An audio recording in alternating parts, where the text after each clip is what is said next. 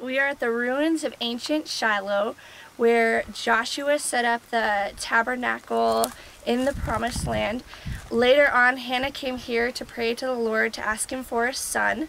When he was born, she brought Samuel to offer him um, to the Lord for his service. And this is recorded in 1 Samuel 2. And part of Hannah's prayer says, He raises up the poor from the dust, He lifts the needy from the ash heap, to make them sit with princes and inherit a seat of honor. While Samuel was a young boy, Eli was a high priest. The Ark of the Covenant, which had resided here in Shiloh, had been taken to Aphek to fight in the battle against the Philistines. When news of the loss of the ark reached Eli, he fell over backwards, broke his neck, and died. Many of the people have lost their lives in the battle. The two sons, Hophni and Phinehas, are dead, and the Philistines have captured the ark of the Lord. Later on, um, Jeremiah records the destruction of Shiloh as a warning to the inhabitants of Jerusalem. So they instructed the Benjamites, saying, Go and hide in the vineyards, and watch when the girls of Shiloh come out to join the dancing. Then rush from the vineyards, and each of you seize a wife from the girls of Shiloh, and go to the land of Benjamin. So that is what the Benjamites did. While the girls were dancing, each man caught one and carried her off to be his wife.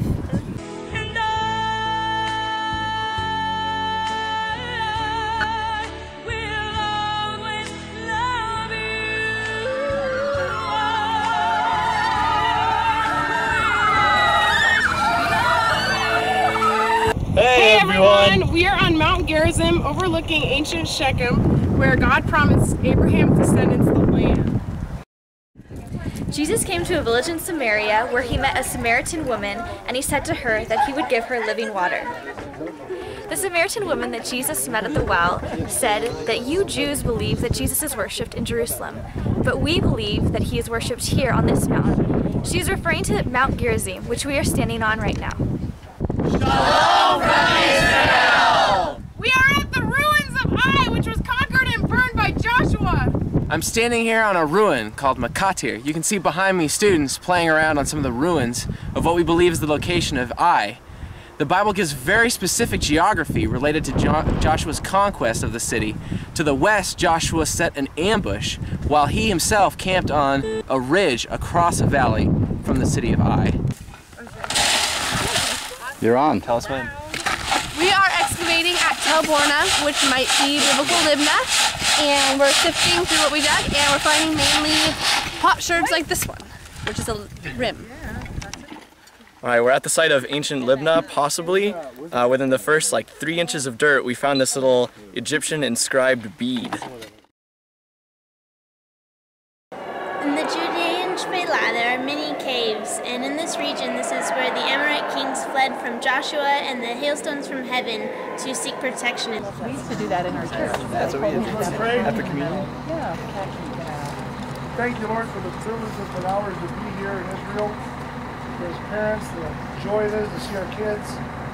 We thank you for doing in their hearts, and lives, and minds, through the ministry of Ben Bill. About Luke, are you happy or sad your mom's leaving? Oh, I gotta go to that side. Oh, I've been mourning. I'm gonna rip my clothes, but only about six inches because that's how they did it.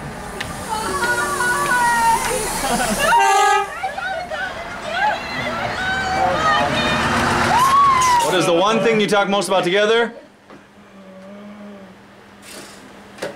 God, the Bible, theology.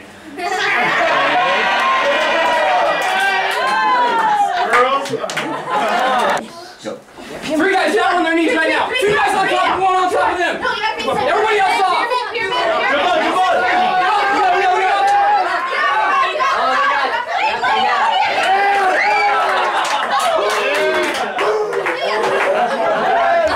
Ready? One, two, three.